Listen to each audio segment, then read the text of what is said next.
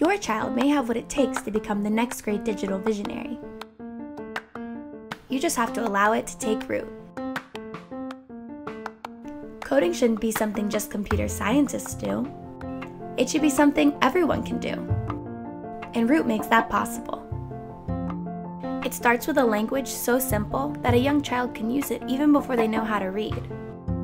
If this, then that. At first, coding with Root might look like simple blocks, but this coding is very real. Root engages the part of a child's brain that thinks analytically and unleashes the creativity within. Root can be used on just about any surface, making it a great platform to create all kinds of challenges and games with friends. It's easy for coding to feel abstract, but Root teaches computer programming in a new way, making coding a real-time and interactive experience. Kids think of things they want to do and push themselves to that next level to see what they've imagined come to life. Or they can explore other people's programs from around the world and make them their own.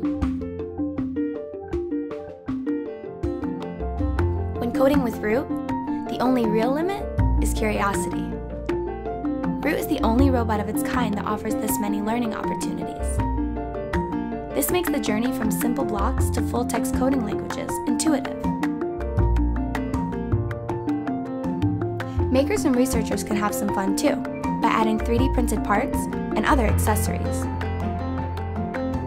With Root, it's not about having one experience, it's about making experiences. Root is the best way for anyone to fall in love with coding. Where they go from there is completely up to them. We've been working on Root for several years here at Harvard. At first I wanted Root for my undergraduate classroom to teach AI and intro to robotics, but then we realized that kids of all ages like Root, and there's so many things you can learn with it.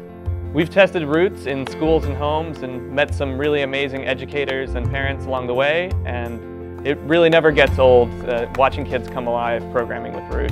We're not just here to get Root into production. We want to change the world in a small but important way. Coding is something that everyone should grow up with. With your support, your kids, and many more, can experience the joy of programming.